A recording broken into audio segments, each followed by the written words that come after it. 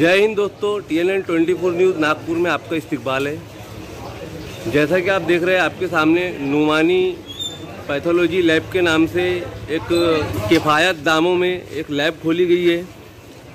यह रहमान फाउंडेशन नागपुर, जो कि मौलाना सज्जाद नुमानी साहब की सरपरस्ती में चल रहा है। ये आज के इस दौर में बहुत ही बड़ा और अच्छा अहम कदम है। जो इस महँगाई के दौर में और इस भ्रष्टाचार के दौर में लोगों की जो लैब के नाम पर मार्केट में काला बाजारी और ज़्यादा पैसे ऐठने का काम चल रहा है, उससे हम और आप हर लोग दो चार है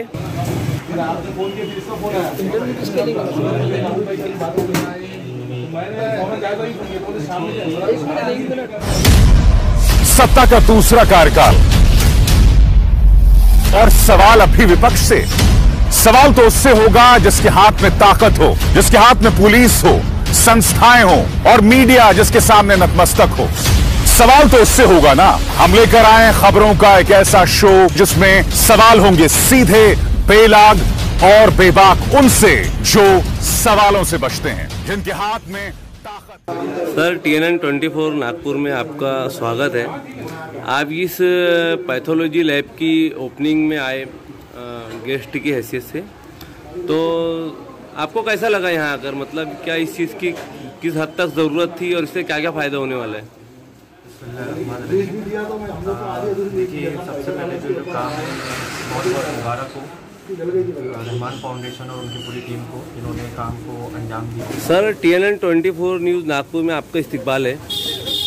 जैसा कि यहाँ पर आप एक गेस्ट की हैसियत से आए और आपके सामने जो अभी इफ्तिता हुआ पैथोलॉजी लैब का तो इस बारे में आपकी का इजहार ख्याल क्या है? आपका नाम बताएँ। मेरा नाम अनवर जलील है। जी। जी आपका पेशा? मैं रिटायर्ड प्रिंसिपल हूँ N M C sanitary engineering college से रिटायर्ड हूँ मैं। मेरे नज़दीक हर वो काम, जिसका ताल्लुक़ खिदमत खल्क से वो एन इबादत है। और कुरान के अंदर इसकी इसकी तालीम बर रास्त मौजूद है। फरमाए कि, मन कतल नफ्सम बगैर नफसिन और फसादिन फिलर फ़कान्नमा कतल नास जमिया वमन अहिया फ़कान्नमा अहियन नास जमिया। जिस शख्स ने इंसानियत से किसी एक शख्स का नहा कत्ल किया, अमलन उसने पूरी इंसानियत का कत्ल किया और जिसने किसी एक जान का तहफ़ किया, वह उसने पूरी इंसानियत का तहफ़ किया। दोस्तों, जैसा कि आपको मैंने अभी बताया कि रहमान फाउंडेशन के जानिब से ये पैथोलॉजी लैब का की शुरुआत आज की गई है। हमारे वसीम भाई जो इसके रहमान फाउंडेशन के ज़िम्मेदार भी है, माशाल्लाह। ये आपको बताएँगे कि इनका इस लैब खोलने का मकसद क्या है और इससे क्या क्या फ़ायदा हो सकता है।